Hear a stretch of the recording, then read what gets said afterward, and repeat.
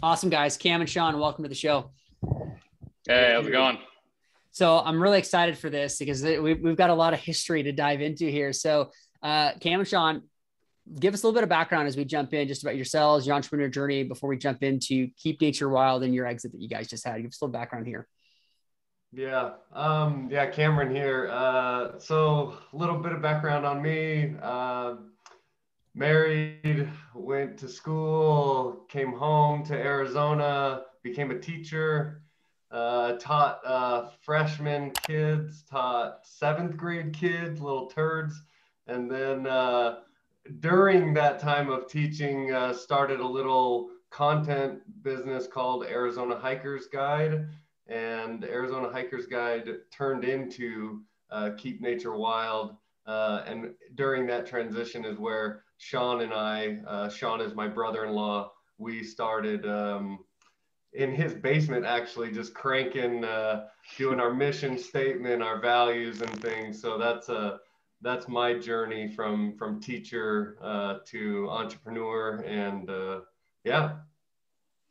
Yeah sean uh, here my, my background's uh, pretty scattered. Um, I've started and and tried multiple things from a froyo shop in my parents' bakery that uh, inevitably didn't work out to uh, a, a, tech startup trying to revolutionize concert merchandise uh, while I was going to school at BYU in Provo, um, and moved back to Arizona uh, in 2000- 14, I believe, and started uh, doing photography and videography. That's uh, my background, what I studied, and uh, would go out with Cam and Cassie on these hikes and and take photos and uh, and things, and started seeing just the turnout that they would have at these group hikes on Black Friday with like 150 people showing up and just crazy people like fangirling, grown men fangirling over Cam uh, about his blog and uh, and just seeing this community starting to grow uh, in the desert, you know, uh, hiking um, and just wanting to be a part of it. And, and Cam and I sat down, like he said, and started working on mission statement and values and kind of what we envisioned. And then it just kind of really organically, naturally grew from there. That's so awesome. As, as the listeners know, uh, we're diving into Keep Nature Wild, right? So um, you guys are brothers-in-law. So first off, that you guys are still friends and still work together, had a successful business. That's that's tough. If you ever yeah. work with family, there's there's lots of moving nuances with that for sure. And yes. you know, then you get their spouses in, and that's just that's just the way. Oh yeah, oh yeah. um, so awesome. So you guys launch your business. You're running this. Keep Nature Wild. You've got a huge following. You guys do some really unique things of like you know, you have like thousands of brand ambassadors who go throughout, you know, the US and the world and are actually cleaning up trash. And basically it's, it's, it's a brand all focused on, um, you know, keeping nature wild. Right. So walk us through a little bit of just the journey of how you built the business, hired that first employee, um, you know, why did you take certain risks? What, you know, any of those things that could come up during the growth of the business? Yeah. I, the, the the nice thing about the business was that it was never really meant to make money. We weren't really ever uh, excited about that. We were much more excited about the community and the potential of getting uh, people to come out, clean up, hang out, meet Sean and I, and become friends. And that's that was really exciting when we really pivoted from doing hiking adventures to cleanups.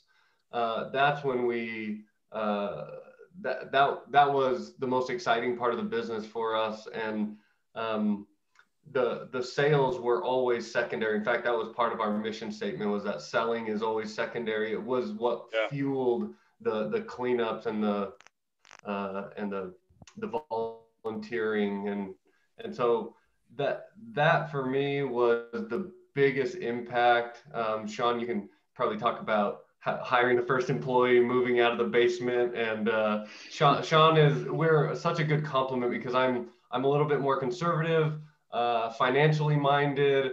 I don't like taking bigger risks. I like going slow. And, and Sean is exactly the opposite. So Sean uh, helped hire the first employee and get get out of his basement and really move fast. So uh, Sean, yeah, tell us about yeah, get, yeah. getting that first employee and getting out.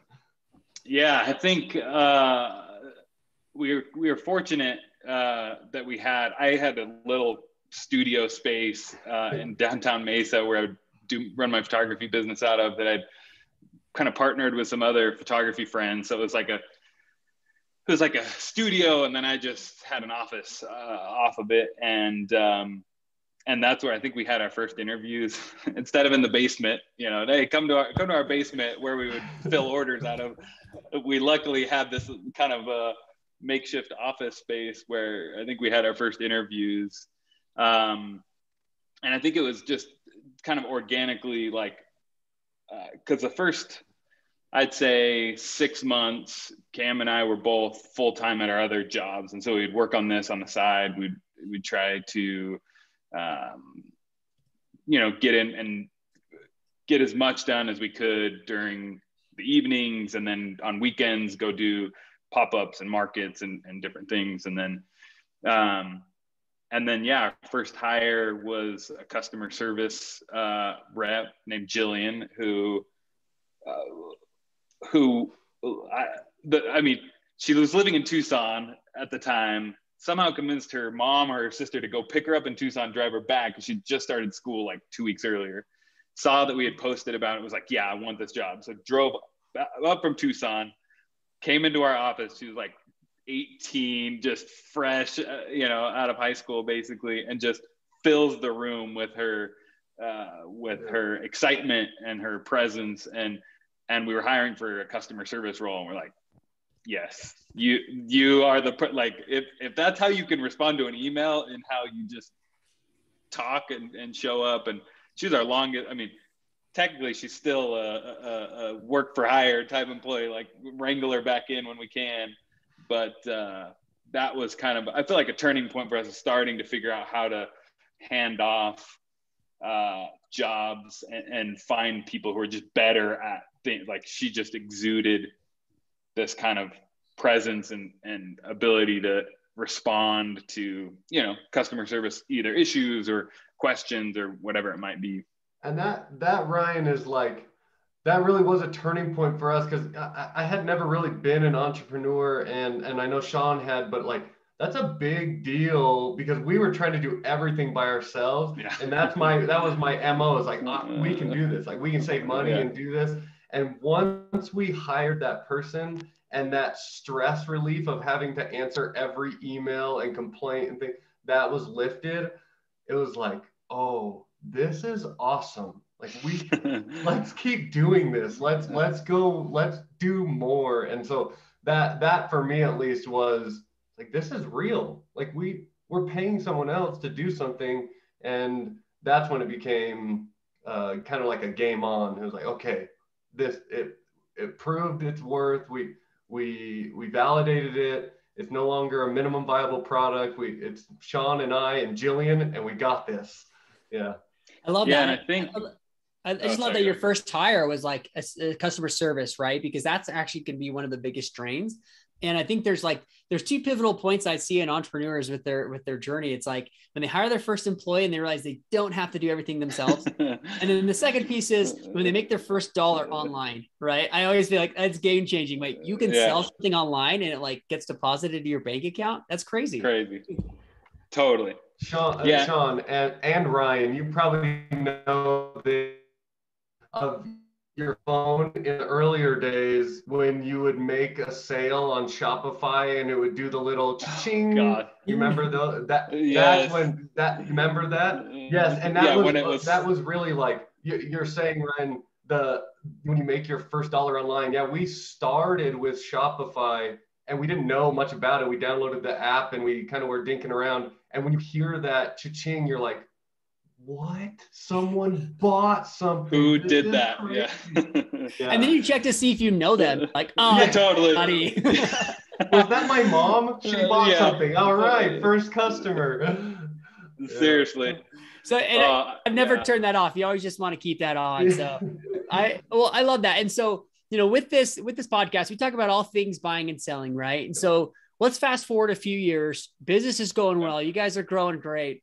And you're like, okay, like maybe we should sell this thing. Walk us through how that conversation went. You have a partnership, you have two different families, two different goals, always moving pieces. Like, how did you guys decide to sell? And then, you know, how did that conversation start between the two of you guys?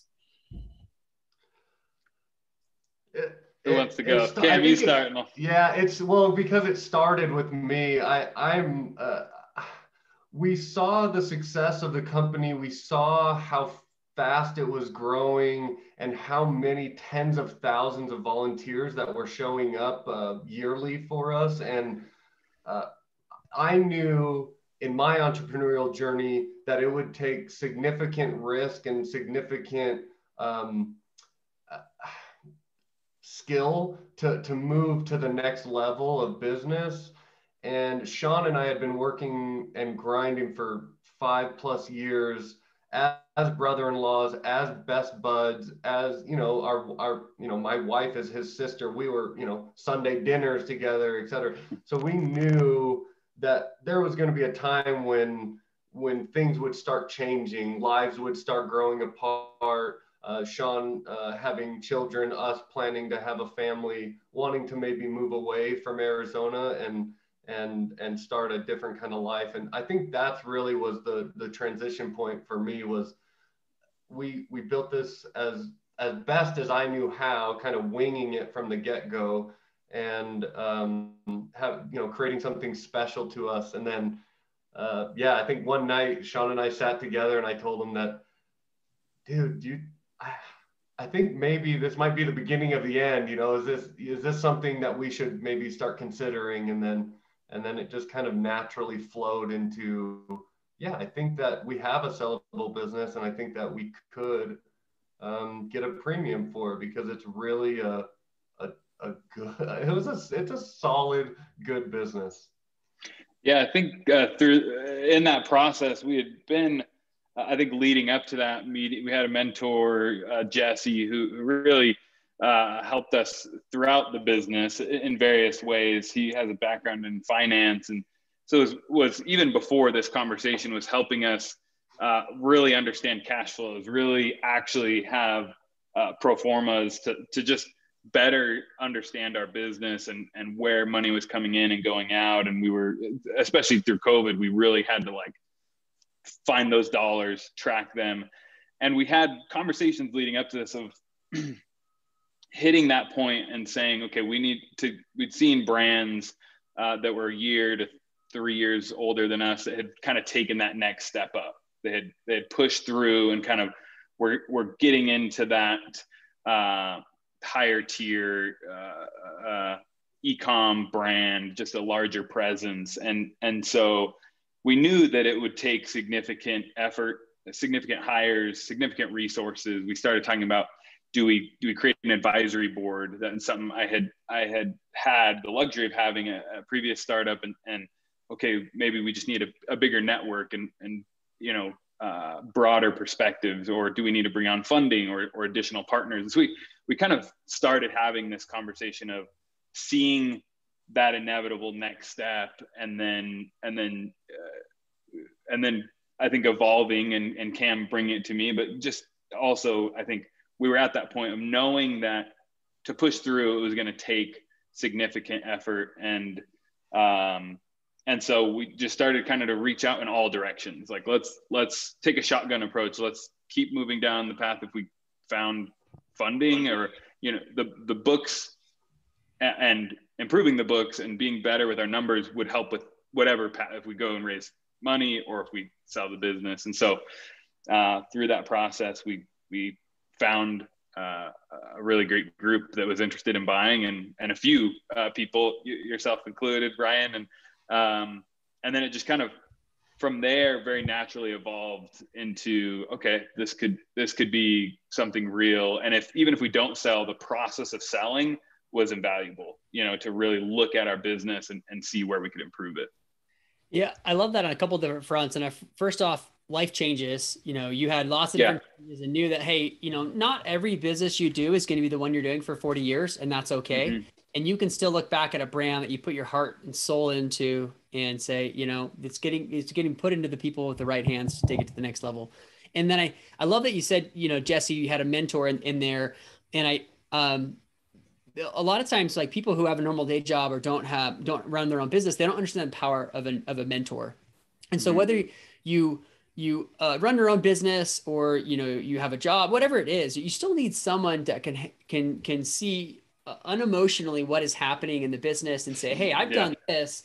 You're on this path. These are the things you need to do. These are the things you need to think about.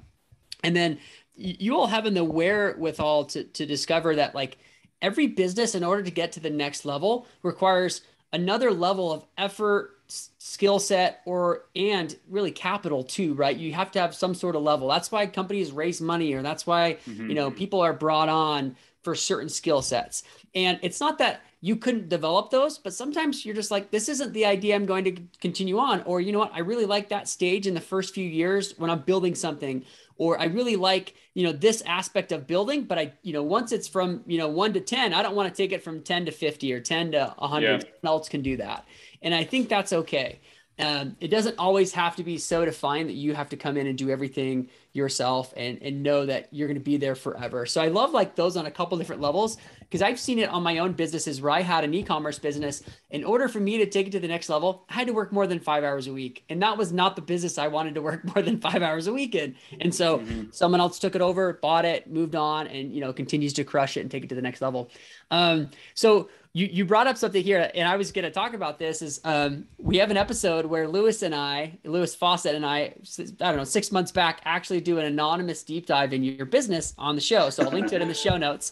Um, the reason I bring that up is we were we were some of the buyers. So walk yeah. us just uh, you you talked about taking taking your business and, and putting it on the market and how much you learned about your own business. Tell us a little bit about that and like how those initial conversations went with buyers. Yeah, I think I think interesting as you were talking to. I think looking back, and we we started to look back to towards the end of the process as it was getting closer and closer. Of like, and even now, three or four months later, looking back, I think we're very fortunate of having that intuition of uh, maybe this is a good time, and and like that maybe you know our like you said, our relationship is still great. We're still good friends. We still, you know, I think everything came together in such a a fortunate kind of way. And and part of that is yeah, saying to our mentor, the same Jesse, uh, who who we talked with uh, about helping us with our books. He actually posted on LinkedIn like, hey. Uh, in an anonymous way, I have this ecom business that, that may be looking to sell. Are there brokers? It, it really wasn't even a, uh, hey, these guys are looking to sell. Who wants to buy? It was more here. Here's some some brief info on this e-commerce brand.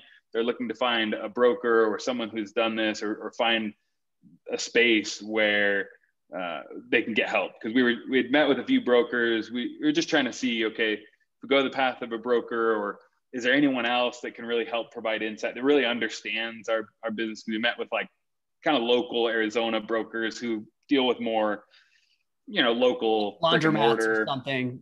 Re- yeah. restaurants and then yeah. and then we met with some big like ecom you know but we were kind of smaller. And so uh, so jesse actually suggested to us hey um, maybe I'll, I'll just post it out to my network. See if anybody can just give an added set of of eyeballs. Um, and through that process i think that's how we connected with you i believe or maybe cam had, had known you but a few people reached out and were like, Hey, I might be interested not in just helping you connect, like I may be interested in being a buyer. And so it kind of, again, a very fortunate, just very kind of organic way of coming together. Uh, through that post, we actually found uh, the, the, the, the buyers. We, we took, I think, six or seven phone calls uh, from that, and then kind of a network effect of, of that. Um, and started the process of like, okay, this could be real. Let's really start talking through with these uh, various buyers on our business. Let's let's really put together our numbers and make sure we we know really where we're at from from a financial standpoint, but also what we are selling and and and and the benefits. And again, we were looking for a win-win. We were looking for people that not just couldn't just just write us a check and we could move on and we could kind of wash our hands. We wanted a win-win where they could really understand our community, our mission, uh, our team, uh, and the value that the team brought, and really just just vibe uh, on a personal level. And and and fortunately, we, we found that. Yeah. Yeah, we, uh, go ahead, Cam. Oh, go ahead, Ryan. Uh, I was just going to add to it. Go ahead. I, I, I think that shows the power of a mentor helping us Yeah. and the power of network. Uh, once we, I mean, it was within 24 hours that we got, uh, I don't know, maybe a dozen inquiries without a broker. And we're thinking to ourselves, wow, this is, this is real. And once we found the, the ultimate buyer, um, it, it went very fast from there. And it was, it was a very easy relationship. They, they have apparel brands themselves. It was a very natural progression. They knew all the things that we were talking about. They run their own warehouse. We ran our own warehouse. So that that symbiotic relationship, it was just so easy. It's such an easy marriage uh, between uh, the buyer and and us. And yeah, it it just went it went smooth. We I think maybe we got lucky. I'm not I'm not sure, but it was it was uh, it was easy. There's there's a lot of luck involved. They don't always go that smooth. Yeah. Totally. So and one thing i want to you know be up clear about is you know we actually lewis and i lewis fawcett and i jumped on some calls with you all. We were a little bit late to the process and you had some uh, initial discussions and we ended up putting an offer on your business. And when we submitted the offer lewis and i said i don't think there's a very good chance they accept our offer. And because what we realized is um, we had an e-commerce background and we just because all e-commerce isn't the same though like you, you built a community in an apparel brand and had a warehouse and all these different pieces where we had some of the pieces in place but not all of them. And so even though it was a wonderful business it wasn't worth as much in the hands of lewis and i than it was to the eventual buyers or you know whatever it is right? They they had the natural uh, structure, the systems, they had the infrastructure set up so that they could take this over and take it to the next level. Whereas Lewis and I didn't. And so I'm sure our offer came in a lot lower. Um, and it was what we valued the business at, but it wasn't necessarily what the business could be valued at because someone else said, you know what? We value the business at X, which is a lot more than what Ryan and Lewis put in because we know how to grow it. Whereas Lewis and I didn't. Yeah. We didn't have the, the community skill set behind it. And I want that to be clear. That's like, you shouldn't win every offer that you put on because you shouldn't yeah. win every business. And that and that's okay. Even though it was an awesome business and I felt like, well, I felt like we would have figured it out and been fine. From the get-go, we didn't have the right skill set to just like hit the ground running, take it off your guys' hands and then really push it and grow it. And you know, we found that to be true as well. Meeting with you, I think you made some really good points about our business in that podcast and and uh, the, the we found that to be true with other people that we had met with that may not have had the the right skill set to take this business to the next level. Um, but with the buyers that came in, they had such a good foundation. They had their own marketing agency, which we had always kind of struggled and, and really did a lot of testing and things that maybe we couldn't afford to do. And, and they could come in and really just ramp what they were already doing with other businesses. And so they could eliminate a lot of the expenses that we were, we had that that they didn't have to, to bring in, you know? Yeah. And I think that's a valuable insight, Ryan, too, of like, and, for us, it was such a, we never sold, built a business that was successful to this uh, point, uh, nor sold a business. And so it was invaluable meeting with you and meeting with all the other people too, uh, through the process of, of really, because you know the, the eventual purchase price is only one aspect right of uh, of our confidence or of of making that decision. Um, a lot of it too is is the relationship, is the vision that that they set out, and I think to your point, the resources that they had of like, oh, you guys, you guys know understand ecom, you understand digital marketing from the. I think, I think the first phone call we had with with um, the buyers was about the mission. I don't even think we talked about hey the business, like even numbers or it was just like hey, we really love the mission. We really are interested in, in the doing good and the taking action and, and the community side. And so it just was this very uh, kind of natural starting point for that conversation to where I think it was until the, at least the second call where we really dove in to numbers and financials. And so uh, I think to your point, Ryan, of just finding that through that process of finding the people who align align in the right way um, is really interesting being on this this side of it. I love that. You had mentioned earlier, uh, maybe it was before we hit record, that um, everybody should go through the process of like trying to sell their business. Um, what, what did you mean by that? And what, what did you learn by, by coming out of this process, whether you were going to sell it or not? Yeah, I, I think honestly, it, it, so by going through the process of selling our business, uh, it forced Cam and I to really look at the business, to find any weak points, to really evaluate where can we do better, what what about our business is strong and what about it is weak. And so even though it moved quickly to find the people, it was still six months really between like, hey, this initial conversation and and and selling. And so we still were building a business for six months. We still had kind of two, we talked about like having kind of two trains on separate tracks moving. We had to keep keep the business running and thriving and growing and then also keep this conversation going with with the buyers and and i think putting the business or even just mentally thinking about because we really started thinking about a year before on the fundraising side we started to look at our business we started we found and really started to understand cash flows we were we were so focused earlier on on revenue like oh let's just grow the revenue which is is part of the challenge but but really, especially when COVID hit and it was like, we need every dollar. We need every single dollar saved. And then we need every dollar that is spent to be, you know, multiplied three to 10x, you know, on, on what it's going towards, whether that's team or ads or whatever it may be. And so I think through the process of, of selling, I think we learned a lot about our business. We learned and and grew in significant ways. And I think we're able to hand the business off, you know, on on an upward trend because of that reflection and, and kind of discovering a lot of things. Uh, uh, to your point, I, for me, we we reached out to several brokers who took a bird's eye perspective of our and an outsider's view of our business. Uh, you know, because we're in the trenches. You know, we are we are CEO, CMO. Our business to us is priceless. Like we we're the best business in the world. And and to to brokers they're like, "Ah, your business is good, but like here are the things that people aren't going to like." And it was nice to hear that. It was really valuable to say, "Well, these five things on this bullet point list, these things uh, a traditional e-commerce person would not necessarily want they're going to come in.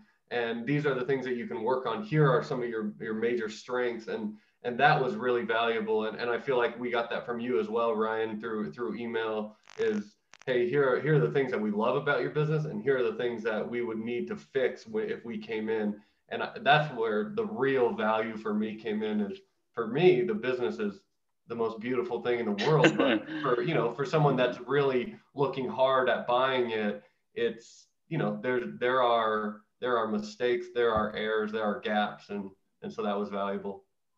Yeah. Every business has black eyes, right? And so um, there's no perfect business out there, and that's okay. So what I what I how I approach it is just you know, are you comfortable with the black eyes that this business has, or do you have the skill sets or the resources or the network to be able to fix those? Or you know, just are you okay with like solving those types of problems, right? And so um, and some people aren't, and some people are, and that makes it the right business for them. Um, now you you all have your exit. You, you, told me earlier you guys are getting bored. So um, walk walk us through. What are you guys working on right now? Where can people find you and follow you? What, what, what's the next step? You have an exit. You take a vacation. You come back and you're like, ah, I'm antsy again. So what, what's next for you guys?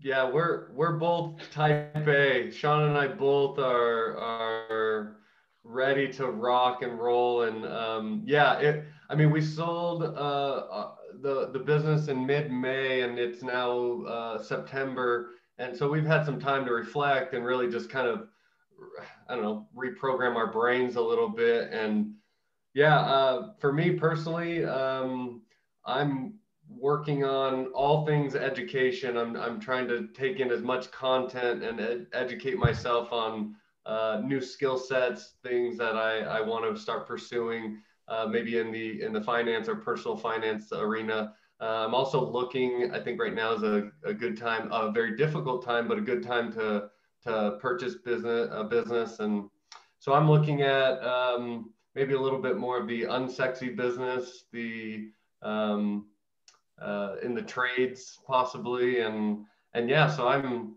uh, I'm currently on the lookout. Um, yeah, and you can find me. Shoot, I have I have a personal Instagram account that's mostly pictures of my dogs and mushrooms and things. But yeah, you can follow me there. It's uh, Cam Jarman on Instagram, and then Cameron Jarman at gmail.com is my is my email.